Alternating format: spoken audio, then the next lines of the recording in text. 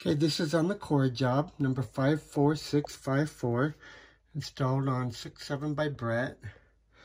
So we're doing a few different things here. We're installing a steam humidifier as well as a vent range and hood. And we have an extra with modifying gas line. so first is install steam humidifier on furnace return air drop. So coming inside, Um, just install it here. Actually, I'll, I'll install a little bit lower. And uh, steam hose to the supply. Um, electrical's already done for you right here. So the drain will just go to the floor drain. I'm going to give you a three quarter inch coupling and a 45 and just cut that out and redo the drain better without that T in there. Um, the water, so you're going to take your it off the cold water. Um, and I'm just going to give you a SharkBite valve and run your quarter inch copper there. Okay. Um, on the scope, he has installed a humidistat on the return air. So um, I would install it there. This looks like it's just a shelf. I'm not sure what that is. Anyway, um, okay, so that's it in here. Let's go upstairs. Oops.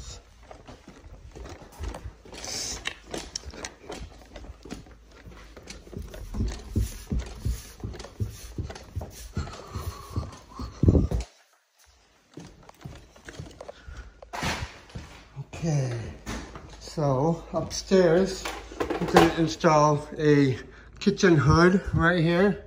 They have the hood, it's in the garage.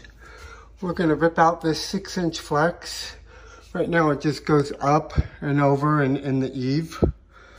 So we'll rip that out.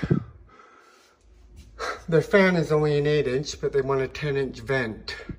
So we're going to put an 8 to 10 reducer and then a 10 inch inline um, backdraft damper and then 10 inch pipe up through the roof to a J vent. Um, the attic access is in the garage, just right out this door.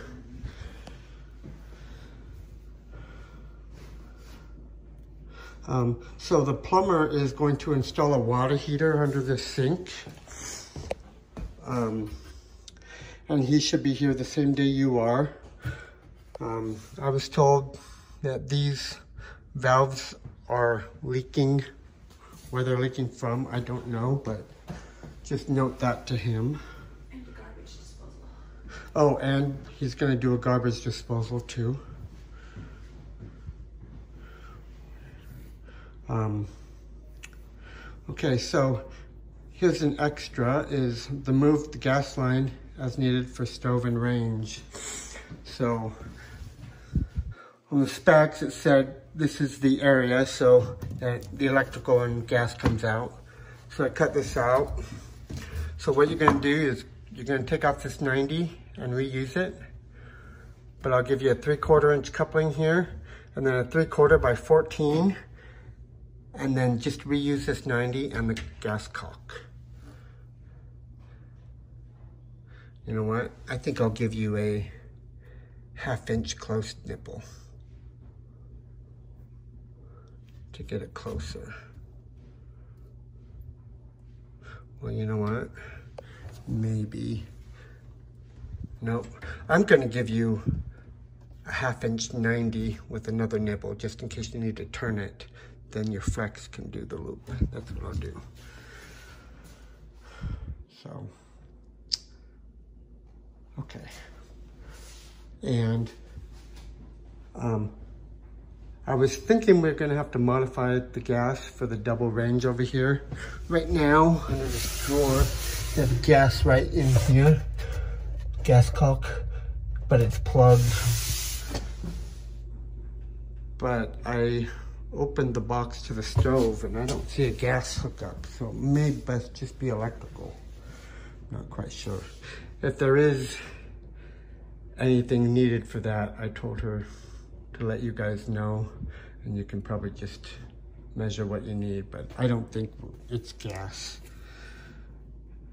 a gas thing. That's it.